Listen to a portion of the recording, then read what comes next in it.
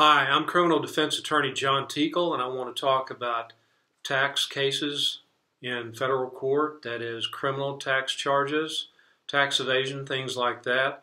Some of the more common crimes for tax violations in federal court charged by the U.S. Attorney's offices or the Department of Justice are tax evasion, filing false tax returns, conspiracy to file false returns, and failure to file a tax return.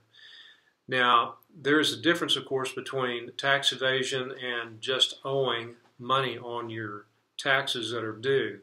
If you owe money, that's at most an administrative or a civil matter and dealt with by revenue agents within the IRS. If you are being looked at by the IRS's Criminal Investigation Division and they get with the Department of Justice or the U.S. Attorney's Office, the Federal Prosecutor's Office, then you have more concern because they're looking at a potential criminal charge, and that would be for more than just owing money to the IRS. That's where the tax evasion comes into play, or did you file a false tax return?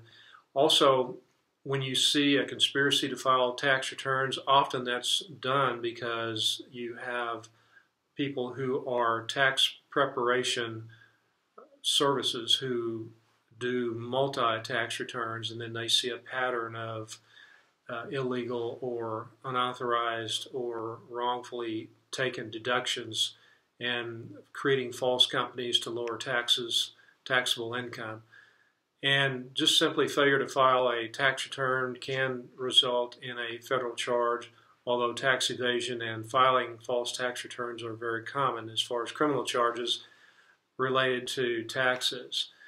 Evasion is a charge where you are charged with essentially just not reporting your income or hiding your income, not reporting it. It can be also a combination of not reporting your income and taking false deductions on a mass scale to lower your taxable income.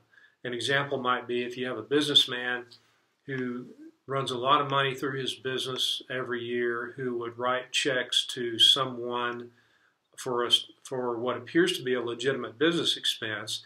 Then he has that person go cash those checks and then split the money with him. Then the money's coming back, or a good portion of it's coming back to the businessman. He gets a double benefit without increasing his taxable income. He's showing a what appears to be a number of legitimate expenses for his business to increase the uh, deductions and or rather the the lowering the taxable income. And then he gets cash in hand back that was his to begin with that he's really not reporting. So that's a a good example of what a person who does something like that could be charged with in federal court for tax evasion. If you know somebody who's under investigation for tax evasion or who's been charged, have them call me, John Teakell. I'll be glad to help them with it. Thank you.